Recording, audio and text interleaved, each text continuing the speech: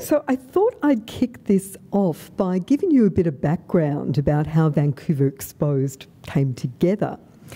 It's basically inspired by my blog, Every Place Has a Story, and uh, that started a few years after my first book, At Home with History, came out in 2007.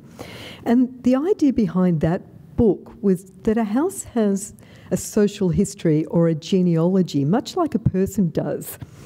And it was telling the stories that happened inside the house. And uh, this is my first book, At Home with History.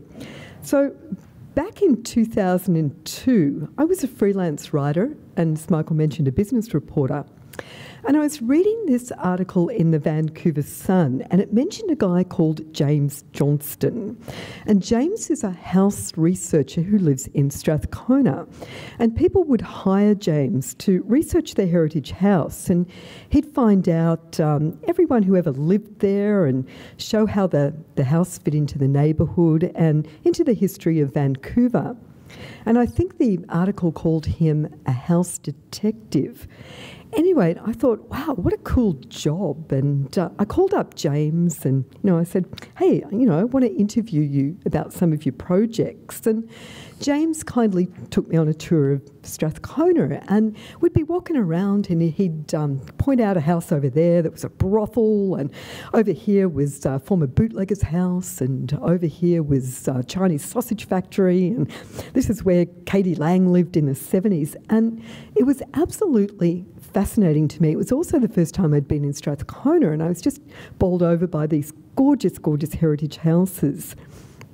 And uh, so, after speaking to, to, James, I wrote up a, a number of articles, and uh, I started lurking around in the bushes, in you know these hedgerows in places Shaughnessy, and I'd look up and try to imagine what happened behind the doors in these mansions, you know, 50 years, 75 years, 100 years ago.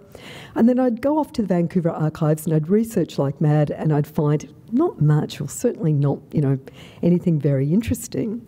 So I'd start with the stories and I really found that the most interesting stories to me came from areas like Mount Pleasant and the West End and um, Strathcona and, and even, you know, North Vancouver. And uh, so once I started sort of digging into these stories, you know, I found that Vancouver was just so fascinating. You know, in the last, or the first half of last century, there was just this seething massive corruption and this kind of seemingly endless uh, uh, number of stories to, to draw on. And after At Home with History came out, people would send me things. You know, they'd tell me stories about, you know, great grandmother who was a madam, or Uncle Harry who was a bootlegger, or some, you know, relative or other that was a corrupt cop back in the day. And, you know, I found out about legendary women that I'd never heard of. And when I got really lucky, people would send me photo albums, you know, photos from their family album that had really never been seen by anyone outside the family album before. And I, I get things like this.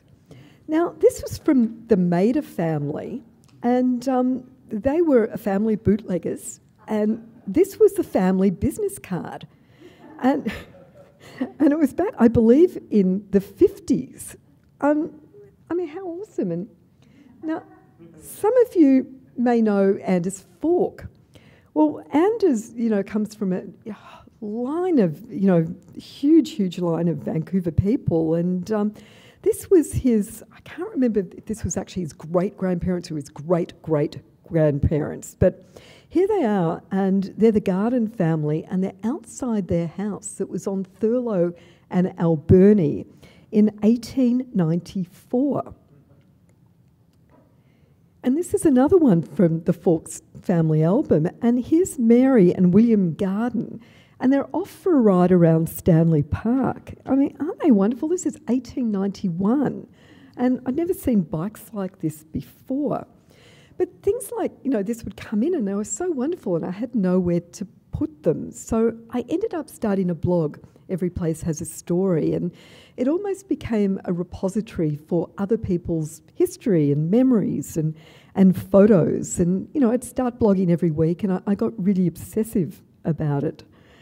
And about oh, four or five years ago, I realised that my blog was coming up to its 10th anniversary in 2020 and um, talked to Arsenal Pulp Press, and it became the, the basis of Vancouver Exposed.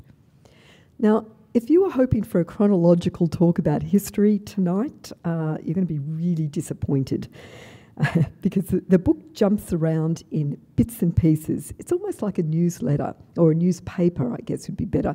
You, you can open it anywhere and, and hopefully not get lost. And Vancouver Exposed is basically divided into five sections, and uh, five of them are directly Vancouver, and one is North Vancouver because that's where I live and uh, it's got some pretty cool stories. And so I thought for tonight I was going to pick some of my favourite stories to talk about.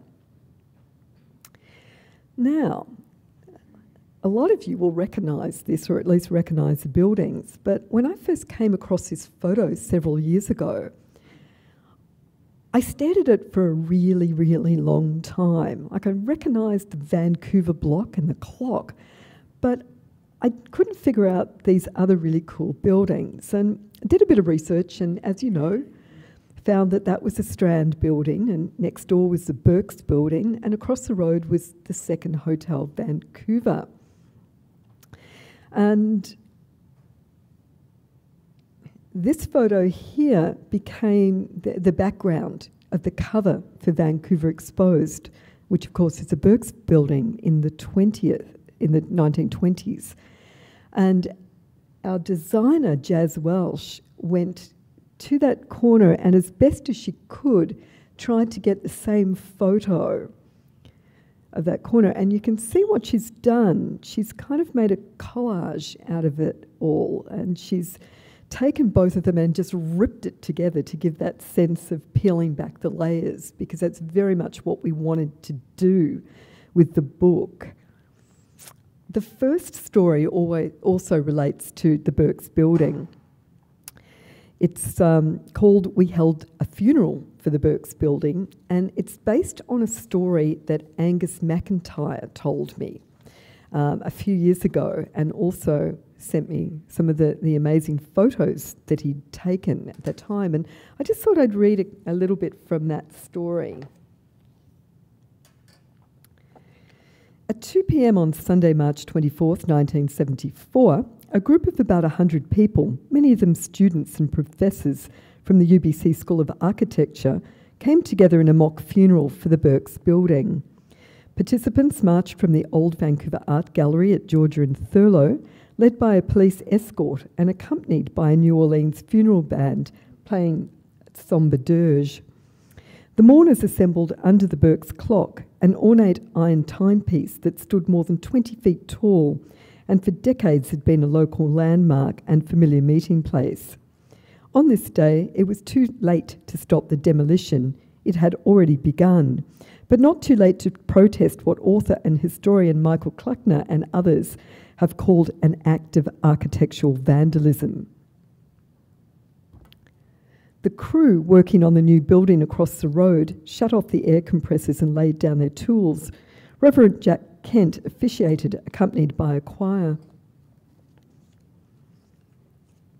Angus McIntyre, then 26 years old, grabbed his camera and rode his bike downtown to record the event. There was a gathering, a sharing of ideas, a quiet performance, and a laying of the wreaths.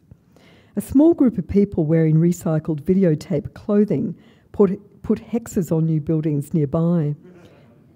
As soon as it came time to return to the art gallery, the band switched to Dixieland jazz and the mood became slightly more upbeat. And just like that, the beautiful old Burke's building, well, not that old really, it was only 61 in 1974, was killed off to make way for the Scotia Tower and Vancouver Centre Mall.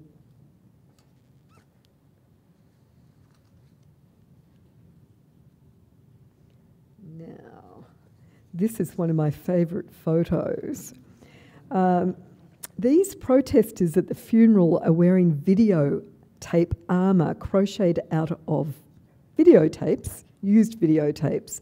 that an artist named Evelyn Roth had collected from TV studios and, and film studios. And I tracked her down. She now lives in South, or she did a couple of years ago, lived in uh, Adelaide in South Australia, and she was still making videotape clothing, although I don't know where she was getting them from now. Must be a bit difficult. And I'm throwing this one in because just such a beautiful shot that Angus McIntyre had taken. Um, so of Burke's, um, just shortly before we destroyed it. And now, of course, all these gorgeous heritage um, buildings are gone, replaced by the Pacific Centre, the Black TD Tower, and Scotia Tower. Yay, us. So, another of the recurring themes, if um, you can call them that, in the book uh, are missing pieces of art in Vancouver. I'm always surprised and uh, a bit intrigued about how really large sculptures and murals can just get lost. This is a photo of Ascension, and uh, it was in the Hotel Vancouver lobby, our current Hotel Vancouver. In 1939, the CNR commissioned a 12 foot sculpture on the main floor near the elevators from an artist named Beatrice Lennie. She was one of the few women sculptors in BC. Was finished in blue steel, brass, and chromium. But when the hotel renovated the lobby in 1967, they lowered the ceiling, and Beatrice's sculpture, along with two elevators, got walled up on the wrong side of the wall. Here's Beatrice in her studio in 1940s. Her father was Robert Lennie, a barrister, and he presided over the Lennie Commission, which I found fascinating because that was the, the first um, commission into police corruption in 1928, of, of which I wrote about independently. And it's funny when you start messing around with history, you find all these connections, don't you? It's quite uh, interesting. And this is a photo of the current Vancouver lobby, uh, which is hiding Beatrice's sculpture in a couple of elevators, courtesy of Murray Maisie. Now, some of you will remember the Alcazar Hotel. And if you've ever been there, it um, was there from 1912 to 1982. You may remember this mural by Jack Shadbolt. Apparently, it was over the bar. Do you? Anyone remember this? Okay. Um, it was before my time, so I never saw it. And, and this was another part of it, which it, it, must have been quite spectacular to see. Uh, Jack Shadbolt created them in 1949, and they were called Cycle of Seasons. Well, the murals survived the hotel demolition, but their current whereabouts is a complete mystery. So someone's got them somewhere in their house. But I did find out what happened to the neon sign. Angus McIntyre bought it and took it home.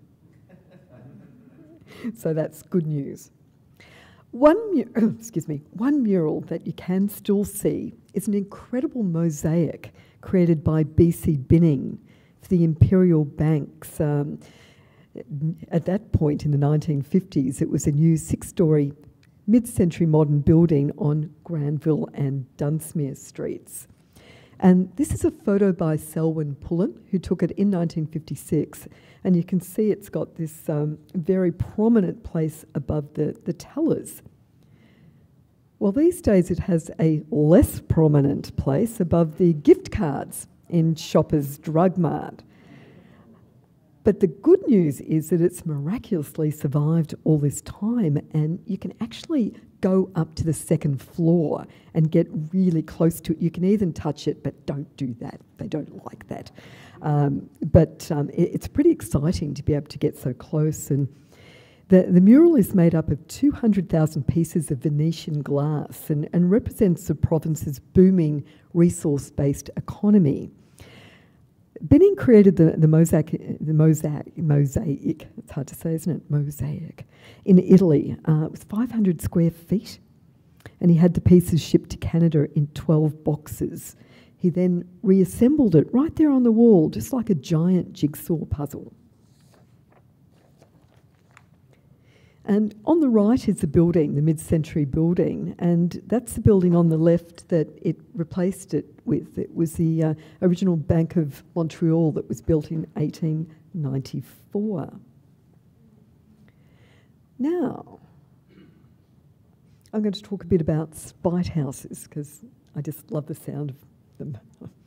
I first heard the term spite house oh, several years ago, and I thought it was a style of architecture, you know, like, oh, that's an Arthur Erickson house, and that's um, Frank Lloyd Wright, Frank Lloyd Wright house. And that's, uh, oh, that's a John Spite house. But, but no, that's not right. It's actually much more interesting than that. Um, it turns out that a spite house is a building that's um, put up to piss somebody off.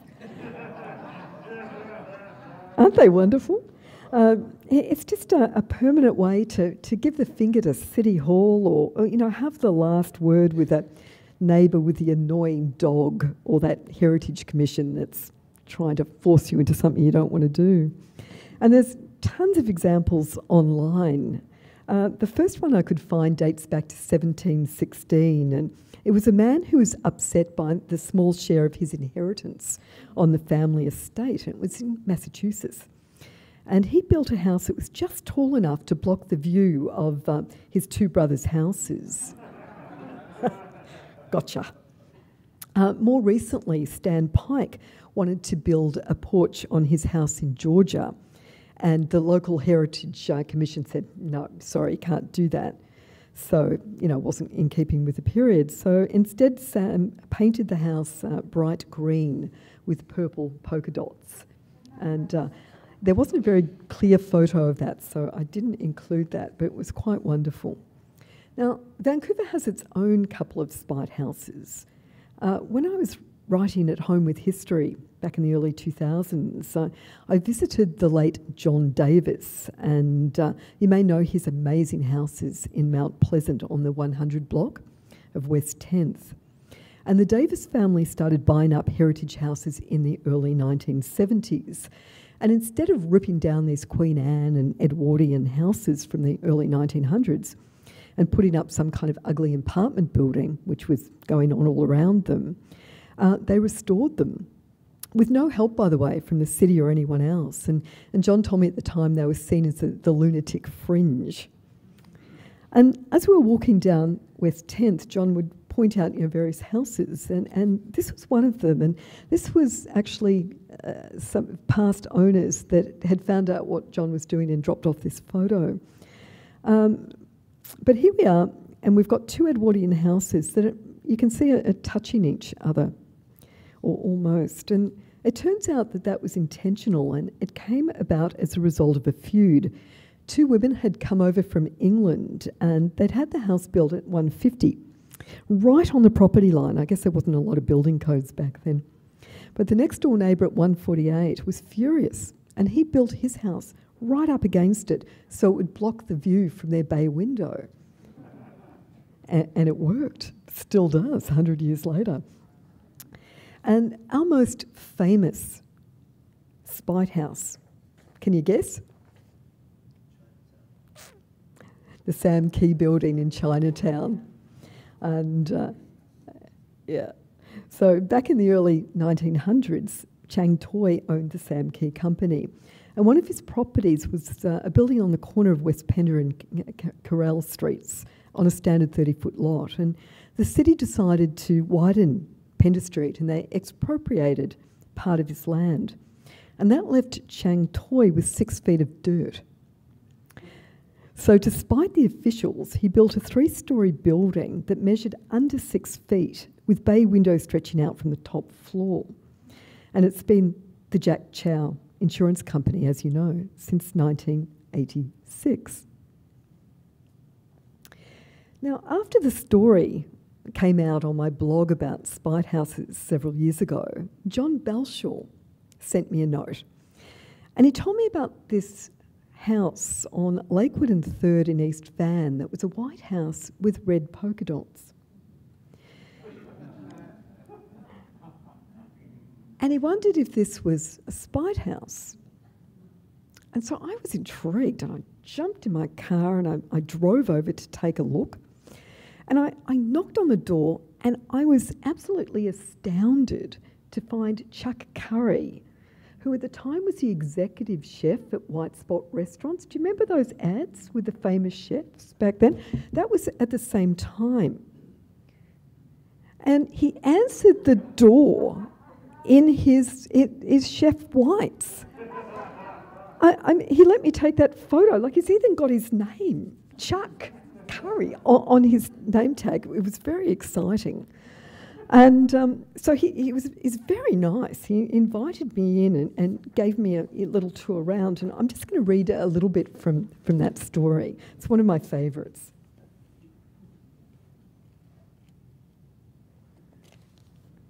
Hmm. Chuck Curry, who's lived in the house since 1989 and first painted the polka dots with marine paint in 1992, says there's no big story. His friend John was working for a painting company, and his boss went on holiday and came home to find that his crew had painted his house with purple polka dots. Now, the owner wasn't amused, but Chuck loved the idea, and he thought it was a great way to liven up his own neighbourhood. The neighbourhood, incidentally, is packed full of gorgeous old heritage houses, and he's never had a single complaint. Now, this is Chuck, his quote. I still remember the first car that stopped and gaped. It was a cool fall day and the windows were closed, but my friend John and I could clearly see the driver say, Holy shit! I had a sax quartet rehearsal here that Sunday, and one of the musicians said he'd been talking to a friend in Toronto who asked him, Say, have you heard about that polka dot house in Vancouver? That was five days after we painted it. Over the years, Chuck has heard it described as a house with measles, and two little girls from the neighbourhood thought it looked like a ladybug. Another benefit is the paint job seems to attract hummingbirds. Who knew?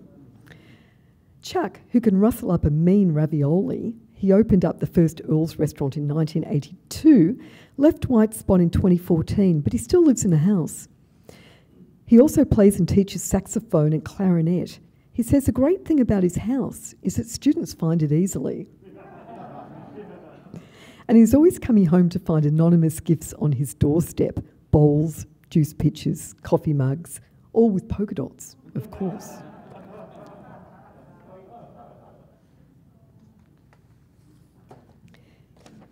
Okay, this is a, another of my favourite quirky house stories. So, Back in the late 1960s, CN Rail built the Thornton Tunnel, which goes from the south end of the Ironworkers Memorial Bridge into Burnaby. And the tunnel's three and a half kilometres and it comes out at Dawson Street near the Costco. But because the tunnel was so long, they needed a ventilation shaft at the midpoint. So someone came up with this clever idea to disguise the house as a residential home. Now, it's on a large corner lot, it sits about 45 metres above the tracks, and it's set in, you know, quite a nice landscape garden. But instead of a kitchen and a dining room, it has these huge fans.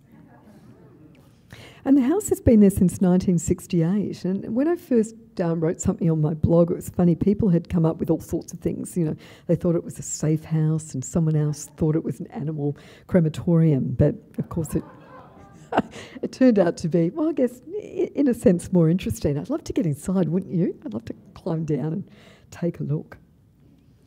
Uh, first off, how many of you have heard of Van Tan?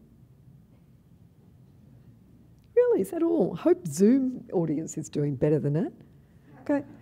How many of you have been up there to Van Tan? Wow, okay, all right. Um, I've lived in Lynn Valley for more than 25 years now, and I'd heard rumours for all that time, you know, about a nudist camp at the top of Mountain Highway. And I'd always thought it was an urban myth. But it turns out it's not.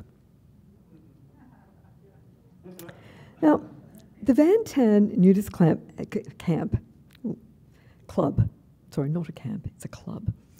It has about 50 members and a board of directors, just like the Vancouver Historical Society, except they, excuse me, except their board meets in the nude.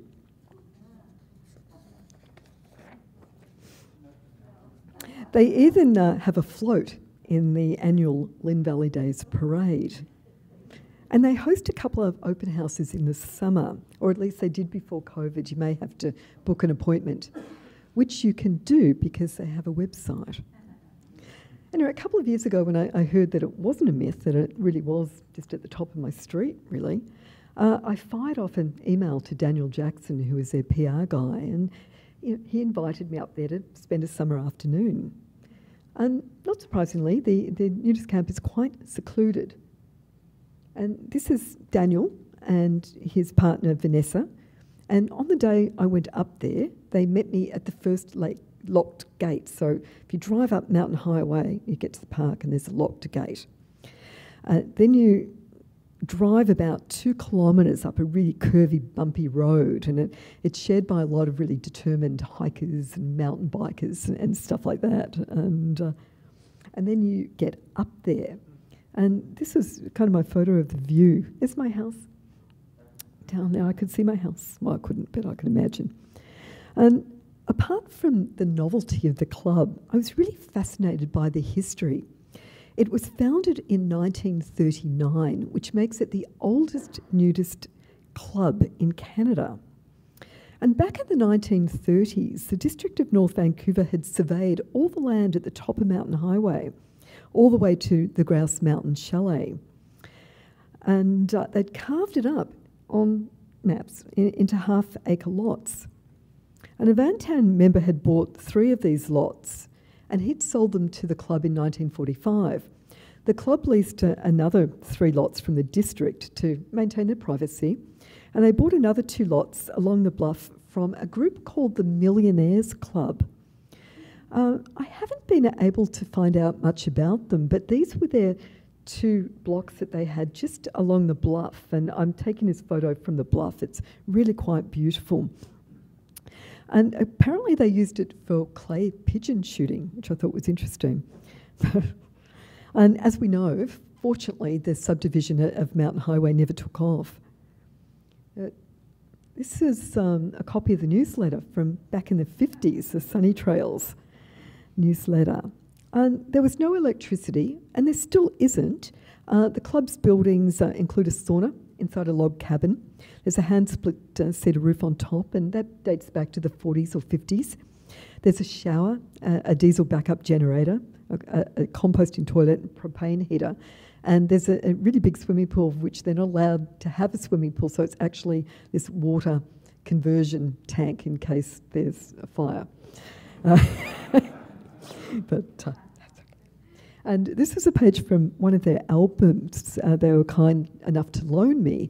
Uh, this came from the 1970s, so it was quite fascinating being able to flick through this and, and seeing how it had changed over the decades. So my guess would be the average age of the club would be probably mid 50s, and the number one activity is gardening. And, um, you know, after a few minutes of very intense eye contact, um, it, it, all becomes, you know, pr- pretty normal. Um, and the nudity thing's a, a, pretty small deal. It's really a, a bit like hanging out with a very nice middle aged gardening group, actually. Now, this is one of my favourite photos uh, from Vancouver Exposed. And it was taken by John Dennison, and he was a photographer with The Province. He took this in 1979. And there's just so much going on here that when I saw it, I had to find out everything I could about it. Now, this photo was taken at the Coach House Inn in North Vancouver, and it was the fifth year of the World Belly Flop and Cannonball Championship. Now, just imagine if a gust of wind had come past. Whoops! But this whole crazy event was invented by a guy called Tom Butler. And he was a, a former reporter turned PR guy. And he was hired by the Western Bayshore to hype up their swimming pool in 1975. So he came up with the idea for this event and he enlisted the help of uh, Andre the Giant. Remember Andre the Giant, seven foot four? Yeah. Uh, he was a star attraction, and, and not surprisingly, he won the event. It moved around for the next four years until it landed here at the Coach House, and it was huge. It brought in more than 3,000 spectators and entrants from all around the world. US President uh, Jimmy Carter's brother Billy was one of the judges. and it was broadcast on NBC TV to more than 20 million people. And after I wrote about it on my blog, Trevor Rowe got in touch with me and he said, You know the guy that's belly flopping out of the hot air balloon? That's my dad. it was Kamikaze Bill, he was called. And Kamikaze Bill was a logger from Bellingham. And Trevor, who, by the way, was only four years old at the time, but I guess there's some things that you just don't forget. But he remembers his dad stuffing weights in his shirt so he'd meet the minimum 250 pound requirement to, to enter this event. And after all this work, Kamikaze Bill just came in second. The, um, that year, there were 16 entrants, and the first place went to 20 year old Robin Gentile, who weighed in at a very impressive 300 pounds. Now, Robin was from Lynn Valley, and he was a cook at Brownie's Fried Chicken on Lonsdale. And his photo appeared in newspapers all across North Vancouver. He became a celebrity. Now, the winner of the World Champion Belly Flop competition that year was Christy Russell. Christy was a 450 pound stripper who went under the name Fanny Annie. And she used to come up to Vancouver to perform at the Penthouse Club and also, of course, the World Championship Ballet competition. I don't know if you can read that, but it says, Great food, and I should know. Best wishes. Fanny Annie. Fanny Annie gave this fabulous photo to the Iasi family, who ran Iasi's restaurant Casa Capri on Seymour Street for a few decades. Anyone go there? Eat there? Oh, so envious. I would have loved to have gone there. It just sounds amazing. And the restaurant closed in the early 80s, and Rick Iasi was driving past one day and he saw all of these, oops, sorry, Owen, framed and um, signed uh, uh, photos of, from celebrities that had been there over the years, and they were all out on the footpath waiting for the dumpster.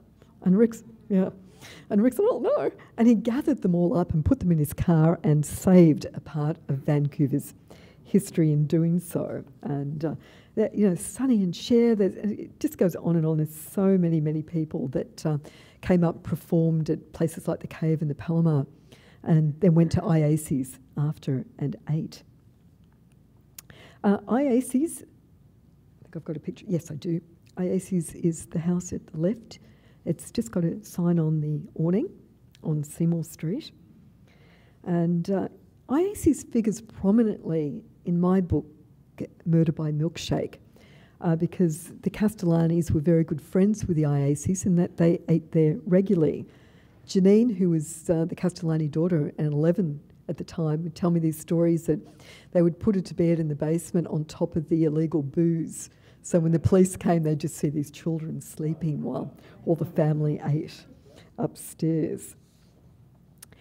But uh, for those of you that don't know the story about Murder by Milkshake, Uh, in 1965, Rene Castellani was a CKNW personality, and he murdered his wife Esther with arsenic flavoured milkshakes so he could marry Lolly, the 25 year old receptionist at the station. And in my blog and later in the book, I wrote about a stunt that he did for NW called the Maharaja of Alibaba. And this is at a, a BC Lions game in the early 1960s. And apparently, back then, there was no promotion that was considered too outrageous or too racist uh, in the continuous quest for radio station ratings. And at this time, rival station CKLG had brought up Marvin Miller. Um, Miller was the star of an American TV program called The Millionaire, and he would give away money to people he didn't know. Uh, CKLG thought, wow, this is a great idea, get a boost in ratings. We'll bring him up to Vancouver and we'll have him go around and hand out a bunch of cash, which he did, and ratings did very well. Uh, so CKNW needed to match this idea. So they decided that uh, Rene would dress up as what people would think an Indian prince would look like.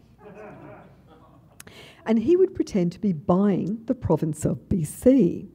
And on his way, he'd go to all these events like the Lions and to clubs like, you know, the uh, Palomar and so forth, and he'd hand out cash. So, so after this, the book came out and, and the story on my blog, I got an email from a guy called Bob Shiel. And Bob's in the photo with Rene on, on the right there. He played Oogie, his driver, because they had a limousine that they would drive around town in. And um, at, at, that time, Bob, or Oogie, was a 23 year old uh, junior promotions guy that had been hauled into this promotion. The Rolls Royce was kept at Bob's mum's house on Granville Street, and it was owned by one of the station's owners, uh, Dr. Ballard of the Dr. Ballard's Dog Food Company. And they hired an off duty motorcycle cop to provide an escort and two women, you know the women that do the, the demonstrations in the supermarkets? Well, they hired them to be the harem girls. And they would all dress up every day and they would go out and do their thing. And they also um, had a, a, room at the Western Bay Shore and it was all very fancy. And they, they did very well in the, the ratings. Apparently, they were so successful that people started making signs saying, keep BC British. this was back in the 60s, just to, to remind you there. so, when my first book, At Home with History, was published in 2007, I, I wrote another couple of books, and it took me a while to realise that I'd gone from writing about Vancouver's kind of sketchy history and to writing historical true crime. And so when I wrote Cold Case Vancouver in 2015, I was really shocked to find that there are literally hundreds of unsolved murders in BC, some that dated back several decades. I intentionally chose cases that weren't well known, uh, in which the victims had been essentially forgotten about by everybody except their family and friends. And I wanted to change that. I wanted to tell their story, not just the story of their murders. And I'd hoped that by doing this, new information might come forward that um, might help police uh, and maybe give them a tip or a new lead. But it didn't, and uh, unfortunately, all of them are still unsolved. The only one that's come close to being solved is the babes in the woods. Uh, this is the two little skeletons that were found in Stanley Park in 1953. And last February, we learned that they were Derek D'Alton, seven, and his brother David, six, who lived with their mother and older sister in Kitsilano. And this is not a good photo. This is the uh, handout that the police uh, gave out uh, earlier in the year. So I updated uh, the story of the babes in the woods in chapter one of Cold Case BC And I'll just take a, a, few minutes to, to recap the story for those of you who aren't familiar with it or, or may have forgotten it, and just talk a bit about some of the developments it had earlier this year. So, back in 1953, Albert Tong was working with a, a Vancouver Parks Board, clearing land in a remote area of Stanley Park near Lost Lagoon.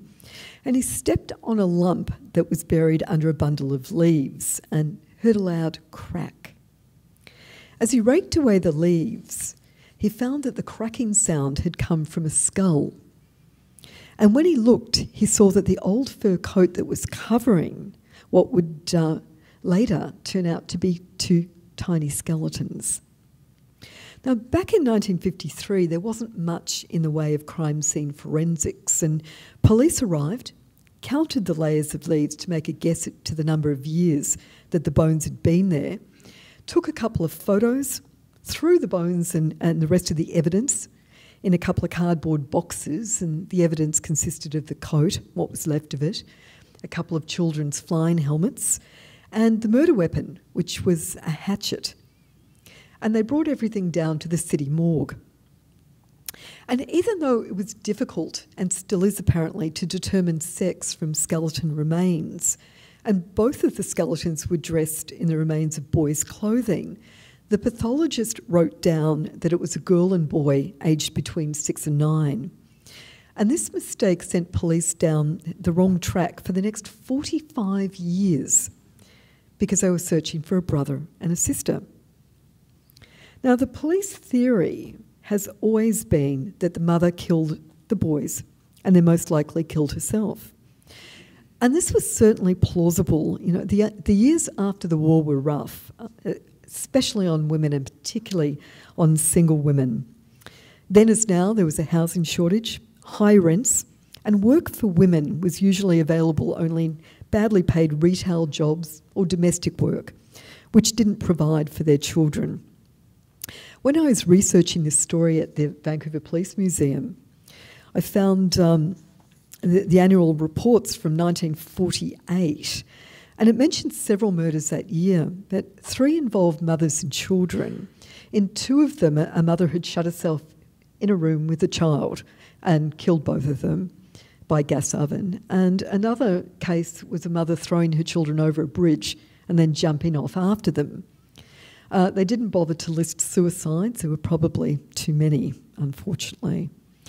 Anyway, the Babes in the Woods case went cold until 1996 when uh, DNA became part of the forensic toolkit. The uh, Provincial Unsolved Homicide Unit was formed to try to clear a backlog of several hundred unsolved murders. And Detective Sergeant Brian Honeybourn headed it up and he decided to take another look at the Babes in the Woods. He took uh, the remains, or he went down to the museum and got the remains from the cardboard boxes and took them to Dr. David Sweet at UBC. He was a forensic scientist that specialised in DNA, and he was able to remove the DNA from the teeth and discover that they were actually two boys, not a boy and a girl.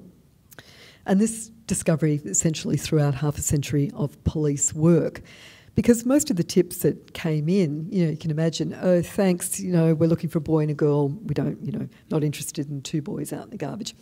Uh, but the ones that they could find, they reinvestigated. Sergeant Honeybourn thought it would be disrespectful to put the children's bones back on public display, and, you know, he was right. I remember going to the police museum back in the late 80, 1980s. It couldn't have been open very long, and the skulls were on the actual skulls were on display. Although I'm not sure I knew that then.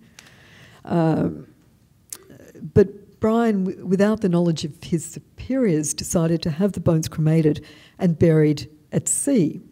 He did manage to keep the skulls, fortunately.